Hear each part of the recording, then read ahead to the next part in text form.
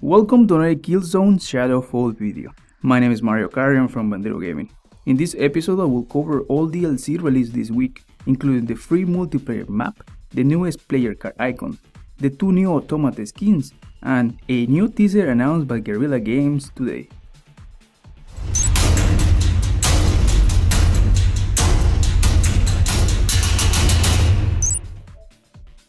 First, let's take a look at the two new automata skins.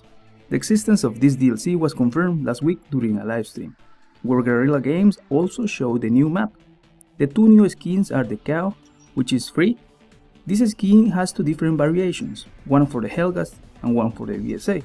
The difference is the color, one is brown and one is black, or fancy name as Holstein and Highshire.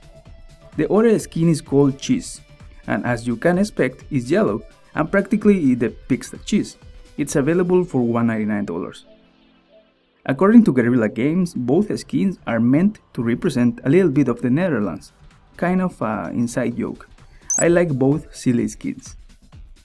Next in the list of new DLC is the release of the Killzone Universe Player Card Icon Pack.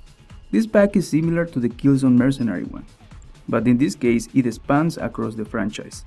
It includes the Helghast Doctor from Killzone 3, the Helghast Doc from Killzone Liberation, Captain Narville from Killzone 2 and 3, just to name a few. This DLC is available for 99 cents. And the last DLC available this week is the newest free multiplayer map called The Canyon. This map offers ziplines just like in Killzone Mercenary and gravity wells that help you travel faster across different levels of the map. They also work as a way to slow you down when jumping off. Be aware that when using them you cannot use your weapon, and although the distances are obviously really short, this is still worth mentioning. One interesting thing about this free map is that the DLC is not called Canyon or something similar. Instead, Guerrilla Games decided to bundle both the two previous maps and this one in one DLC. This DLC is called Free Multiplayer Maps. However, this doesn't mean you will have to download the previous maps one more time it will download only this new one if you already have the two previous ones.